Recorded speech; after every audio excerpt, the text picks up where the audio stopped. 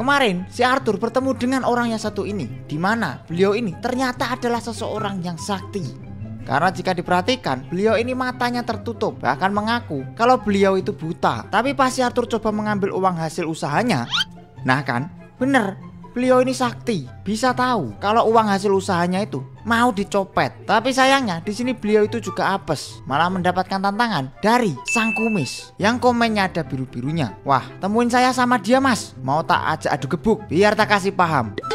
Dan langsung aja kita bawa si buta ini untuk bertemu dengan sang kumis. Apakah sang kumis berhasil memberi paham orang ini atau malah sang kumis yang akan dikasih paham? Pak Kumis, ini pesananmu sudah datang. Apakah kamu sudah siap? Udah nggak usah banyak ngomong, Mas. Langsung aja kita tanding. Bisa kan lihat di sini aku sudah berhasil mempertemukan mereka berdua. Dan langsung aja kita menuju ke arena pertandingan. Bisa kan lihat para peserta sudah bersiap di posisinya masing-masing Dan seperti biasa pertandingan kali ini akan dilakukan sebanyak tiga ronde Dan siapa pun di antara mereka yang berhasil memenangkan dua ronde Dialah yang akan keluar sebagai juaranya Dan langsung aja kita mulai ronde yang pertama Ronde pertama sudah dimulai Pukulan langsung dilayangkan oleh si buta masuk mengenai Pak Kumis. Lagi-lagi pukulan dilakukan oleh si buta masuk mengenai Pak Kumis.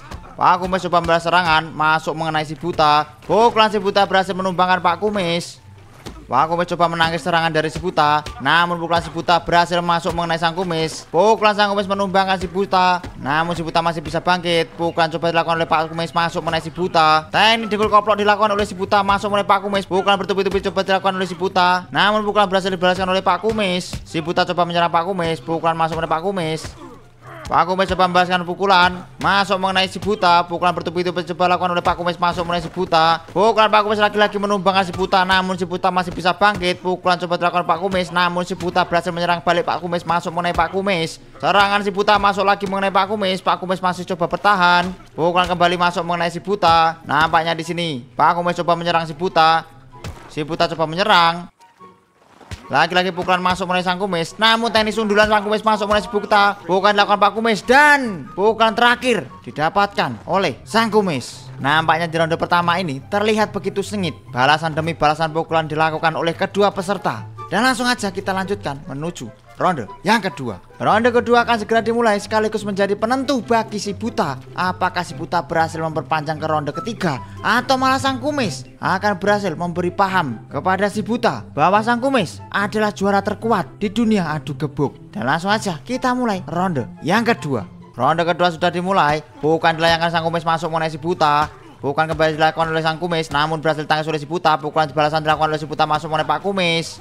Pak Kumis coba memukul masuk mengenai si buta Pukulan kembali dilakukan oleh Pak Kumis masuk mengenai si buta Si buta berhasil membalaskan pukulan Pak Kumis berhasil tumbang. Namun masih bisa bangkit Pukulan kembali dilayangkan oleh sang Kumis masuk mengenai si buta Pukulan kembali dibalaskan oleh si buta masuk mengenai Pak Kumis. Pak Kumis coba menyerang masuk mengenai si buta. Dan ini tangkisannya cukup baik Pukulan berhasil menumbangkan sang Kumis Namun sang Kumis masih bisa bangkit.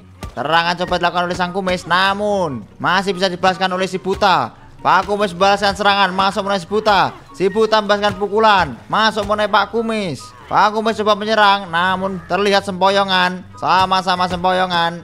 Nampaknya di ronde kedua ini begitu sengit. Pukulan coba dilakukan oleh si buta masuk mengenai Pak Kumis. Pukulan balasan dilakukan oleh Pak Kumis masuk mengenai si buta. Nampaknya belum ada yang mau mengalah di ronde kedua ini. Bukan kembali dilakukan oleh si buta Namun masih berhasil tangis oleh Pak Kumis. Pak Kumis coba membalaskan serangan Namun pukulan coba dilakukan oleh si buta. Masuk mulai Pak Kumis Dan ternyata di ronde kedua ini Masih menjadi milik Pak Kumis. Dan Pak Kumis di pertandingan kali ini Berhasil membuktikan bahwa Pak Kumis ini tidak hanya omong doang. Ternyata si buta ini benar-benar dikasih paham oleh sang kumis. Dan di sini tahta sang kumis tidak dapat diragukan lagi. Memang Pak Kumis ini sangat realistis.